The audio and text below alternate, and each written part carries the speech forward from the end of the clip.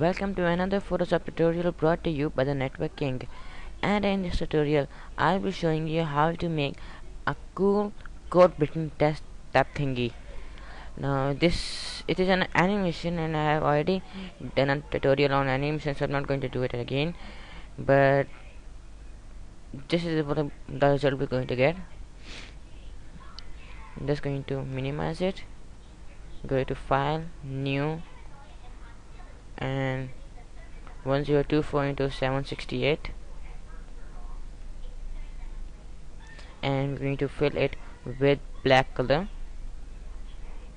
And uh, now we're going to now we're going to do is what uh, is we are going to write a text. I'm going to write code breaking and white color C O G E B R E A K I N G. And I'm going to write this in font impact. And there we have it. Uh, impact.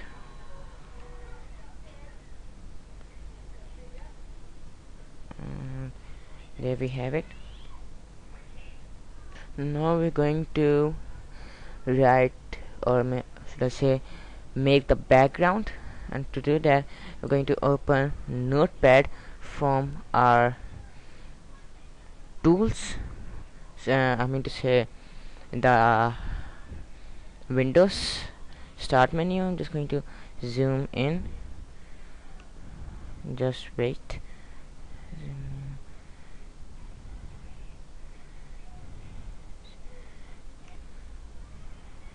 Now as you can see I'm going to go in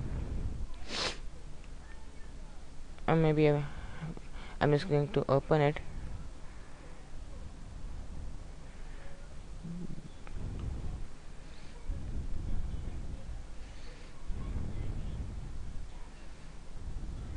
Okay so I'm going to open notepad from my windows start menu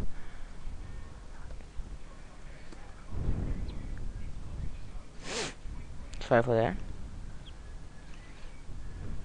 notepad.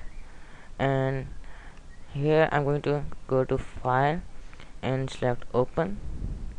I'm just going to open any type of image file. Try opening an image file. Change this to all files. And I'm going I have an image file right above maybe down. No there. 001 full. And I'm going to double click it it's going to take some time. So now we have this uh, weird type of writing which is which displays the image from in the language of the computer. And we're just going to select a nice area till here. I'm going to right click over here and select copy and I'm just going to close this. And in our Photoshop document I'm going to right click over horizontal type tool right click and choose vertical type tool and I'm going to make a rectangle of, a, of about this size. And there we have it. I'm just going to reduce the font size to about 10 pixels or pt and then I'm going to sorry for that I just I'm just going to move my animation bar towards top. And horizontal type tool start from out of the canvas and and out of the canvas. As you can see I have some edges out and same as here I have some edges out.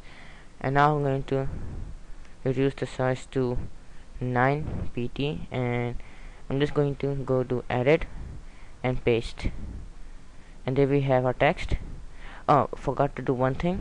Control Z to font undoing and I'm going to change the color to a dark green. And now I'm going to go to edit and paste. And now we have a background. I'm just going to bring this layer back. And um, now we're going to copy this layer. First we're going to rasterize the area right click and choose rasterize type and click and drag over the new layers icon. There we have a copy. I'm going to move it over here. And uh, I'm going to make another copy. Click and drag over new layer icon and move towards here now we're going to go for the animation but first we're going to add one more thing a layer style on the code breaking which is this text it written code breaking. I've already chosen the layer. Going to go to layer style and choose outer glow. And I'm going to change the color to a bright green. And and I'm going to uh, increase the size and I think the settings will be okay your settings will be different from mine depending on the image quality, image size, etc. and the font you're using. So don't use the exact settings. Photoshop is a playground and you have to just play with the settings. So now we're going to go with the animation. You don't see an animation bar, go to Windows and select animation. I'm going to make a new layer. First of all, I'm going to uh, invisible it the text effect and I'm going to make a new layer. And I'm going to move this layer towards down. And this layer towards up. And I'm going to turn on outer glow. So now I'm going to make a new layer. And I'm going to cut off the outer glow. And in this layer I'm going to bring this up this one down and this layer towards up.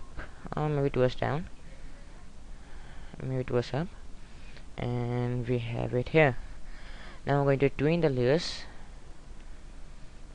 I'll go to previous frame 5 and again tween 5 and now we have our animation.